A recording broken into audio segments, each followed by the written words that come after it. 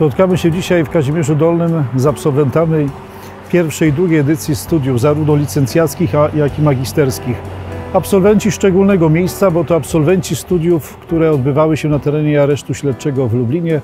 To są absolwenci zarówno e, kierunku praca socjalna pierwszego stopnia, jak i drugiego stopnia pracy socjalnej oraz kierunku nauki o rodzinie. Nasze doświadczenie tych 10 lat, bo pierwsze, pierwszy rok kształcenia rozpoczął się w 2013 roku, wyraźnie wskazał, że posiadanie dyplomu ukończenia studiów wyższych znacząco wzmacnia poczucie samowartości, akceptacji i ułatwia powrót do normalnego życia w społeczeństwie.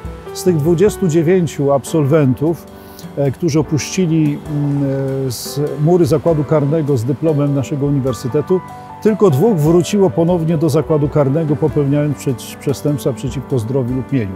To pokazuje, że to, co nazywamy resocjalizacją czy readaptacją, przynosi znaczące, chyba nieporównywalne z innymi programami, które są podejmowane w świecie. Studia dały mi to, że mm, zacząłem odczuwać e, taką wewnętrzną e, siłę i e, na zwalczania swoich kompleksów. Czułem się e, od innych osób gorszy, mm, reagowałem agresją na to.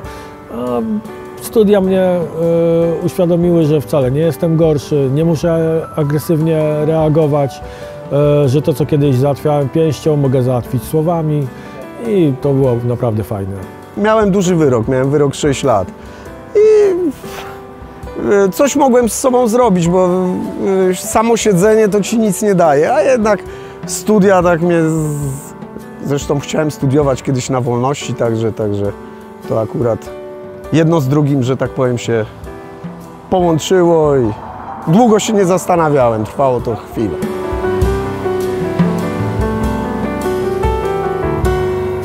Po pierwsze, mm, relacje interpersonalne, tak? Świat e, przestępczy jest takim mikroorganizmem, gdzie są proste schematy. Tutaj trzeba było się wyłamać z tego, przejść level albo trzy wyżej. To się udało. Druga sprawa, że sieć społeczna się rozwinęła. I to już taka sieć społeczna, która gdzieś e, nie była związana w ogóle z tym środowiskiem. A trzecia sprawa, no każdy, kto studiował, to wie, że studia to jest chyba najlepszy czas w życiu człowieka, nie? Ucząc się, jak pomagać innym, nauczyłem się najpierw pomagać sobie. Zastosowałem to wszystko na sobie i zobaczyłem, że działa. Mówię, kurczę, działa, tak? A później y, przyszła też pewność siebie przy, po zdawaniu tych wszystkich egzaminów, stawaniu na, e, przed tymi ludźmi, y, w kontakt z tymi ludźmi, tak? Że nie jestem odrzucony, tylko ludzie na takich stanowiskach jak profesor, czy, czy oni rozmawiają ze mną jak z człowiekiem, normalnie, nie? Y, że, że mogę normalnie podejść, poprosić, porozmawiać, że jakby to wszystko rosło po prostu, tak?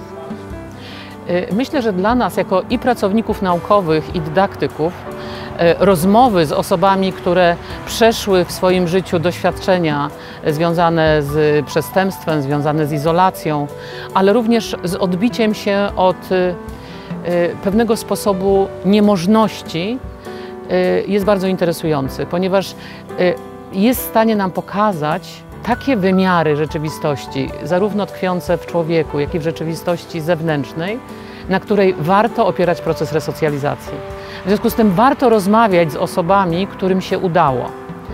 To też pokazuje, że y, jeżeli będziemy rozmawiać z tymi osobami, to sami odchodzimy od y, czegoś takiego jak stygmatyzowanie, jak budowanie stereotypów, czyli za każdym razem traktowanie takiego człowieka bardzo indywidualnie, bo nigdy do końca nie wiadomo, co przyczyni się do tego, że ktoś odniesie sukces.